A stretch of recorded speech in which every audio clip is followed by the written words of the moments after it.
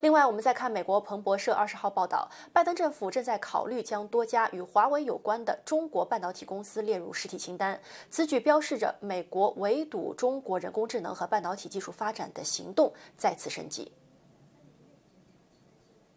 彭博社二十号引述知情人士消息称，继华为去年八月取得重大的技术突破，推出由中国制造的七纳米芯片驱动的 Mate 六零手机后，拜登政府正在考虑将六家与华为有关的中国半导体公司列入美国商务部实体清单。大多数可能受到影响的公司，早前都被华盛顿贸易组织半导体行业协会的一次报告确定为被华为收购或者为华为制造芯片的工厂。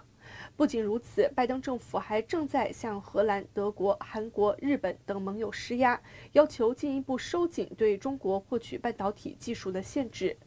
不过，知情人士还透露，目前拜登政府尚未做出最终决定，也不确定有具体的时间表，而最终可能取决于华盛顿与北京之间的关系。近几个月以来，中美双方都在努力改善紧张关系。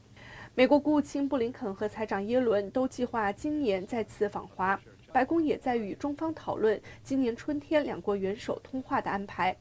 目前，拜登政府还在考虑多项对华政策的调整，包括是否延续特朗普政府时期对华高额关税，以及是否提高对中国老一代芯片的关税。上个月，拜登还指示美国商务部对中国电动汽车展开调查，并采取监管行动，以阻止低成本的中国电动汽车涌入美国市场。凤凰卫视王冰如、王天意华盛顿报道。